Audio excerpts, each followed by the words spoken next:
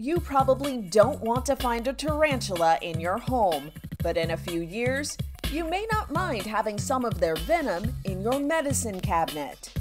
Scientists at the University of California at Davis think tarantula venom may be a key player in chronic pain relief, and that could help reduce the opioid addiction crisis. We now have an opportunity to be able to develop new, safe alternatives.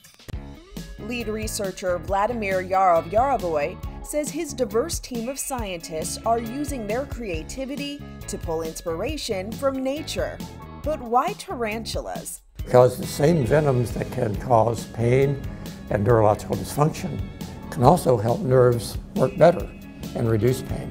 Chronic pain that requires long term treatment affects 20% of Americans, according to the Centers for Disease Control and Prevention.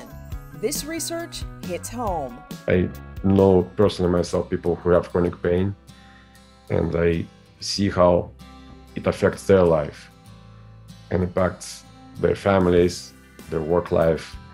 And I remember one of the patients who told them, I just want my life back. And that statement resonated with me.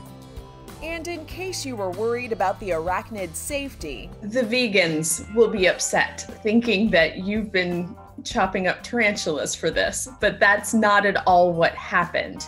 You're, not at all. Please really, explain that. Absolutely, TC. I really want to make that clear. We are not using tarantulas in any way for our research. Uh, in my lab, we only have computers.